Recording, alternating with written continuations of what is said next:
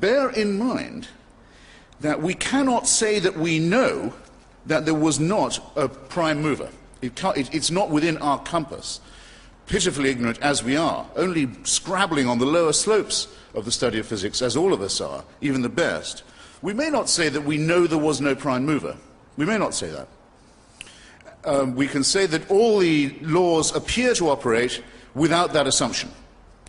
Uh, it's very, very, very rare indeed to meet a physicist of any standing, from Einstein onwards, who is not at the most a Spinozist. In other words, someone who might say there could be a pantheism somewhere, there could be a force, uh, but there is no, no way you can take a step from the laws of physics, the observable creation of the cosmos, uh, that leads you to the belief that there is an intervening personal God who does answer prayers, who does watch over you, who does notice what you're up to, who does mind what you do, who you sleep with, and in what position, uh, what you eat, what you eat and on what days of the week, uh, what propitiations and sacrifices you will make, what commandments you will observe. There is no possible way, no one's even tried it, of getting from the laws of physics or biology to any such idea. So, from uh, the person who says, I'm a deist, I don't think all of this can be an accident, there must be some cosmic force, I say, I can't disprove it, though I think the cosmos functions without it, but you have all your work, sir, or ma'am, still ahead of you before you can say that Jesus of Nazareth was a real person, let alone that he was the Son of God, let alone that his mother was a virgin, let alone that he was resurrected. None of these things, by the way, would prove he was the Son of God if they did happen nor would they prove that his doctrines were not erroneous.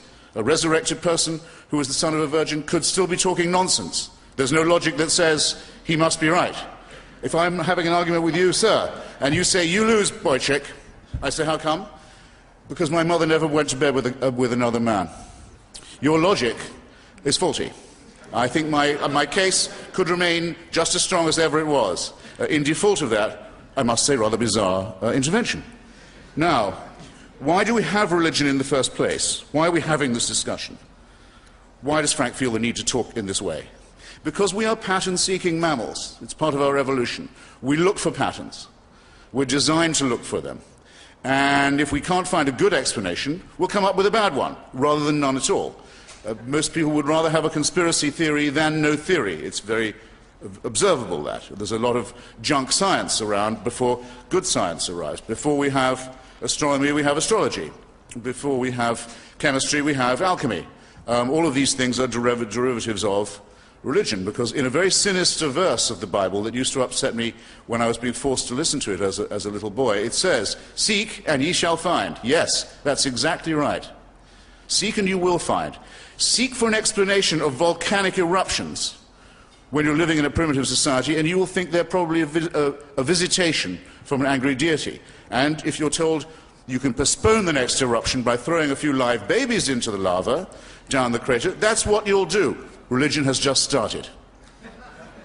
Religion has just begun.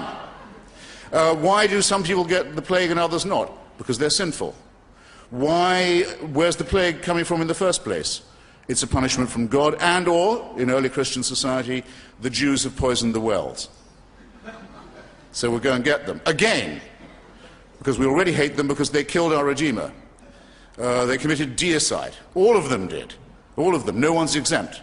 Indeed, if you, want to be, if you have to be a Christian, it's an article of their faith that we were all present at Calvary. We all drove in the nails, the Jews particularly so. And we all have to expiate this guilt for a crime that may or may not have been committed, but if it was, was committed before we were born. What is this? It's not physics. okay? It's not biology. It's not science. It's faith. Why don't you fly under your true flag, sir. Why don't you say these things must be believed as articles of faith? Don't try and derive it from science. Now, I've, um, uh, I can't improve on um, the argument that David Hume comes up with, came up with, against the idea of the supernatural, against the idea that, that the laws of nature are occasionally suspended in order to make people's faith a little more secure. Um, Ambrose Bierce, in his Devil's Dictionary, you may remember, says uh, under prayer, under P for prayer, uh, prayer, um, a request that the laws of nature be suspended in favor of the petitioner, himself admittedly unworthy. Uh, David Hume puts it a little more acidly than that. He says, if you see the laws of nature apparently suspended, Perhaps a virgin's given birth. Uh, perhaps a leper has suddenly stopped being a leper. Who, who knows what it might be? You know the sort of thing. Um, you have to ask yourself one of two things. Well, actually, you have to ask yourself both. Which is the more probable? That the laws of nature have just been suspended, or that I am under a misapprehension? That's if you are an eyewitness yourself to the If you're hearing about it second, third, fourth, and fifth hand, you have to ask this question with redoubled and trebled and quadrupled force. And the likelihood is which? That the laws of nature were suspended, or that somebody may be garbled, maybe a rumor got around. Um, if you make this assumption, then nothing, nothing is mysterious about reality. Nothing is mysterious at all. It, it, would explain why everyone seems to die and no one comes back. No longer a mystery about that. Would explain why uh, some people are cured uh, of leprosy and other even worse diseases if they go to the doctor and if that doctor has access to certain kinds of drugs, but not if they don't. Um, the great theologian Lancelot Andrewes, the Bishop of, um, Archbishop of Canterbury, uh, during the Black Death, wondered. He said, It seems odd to me. Uh, there are people who go to church and pray, and they give their tithes, and they uh, do everything that they're supposed to do, and they lead godly lives, and yet they, they seem to die of the plague just as much as the sinners do. He went to his grave, the, the, uh, the Archbishop, not realizing that he'd very nearly stumbled on a very good point.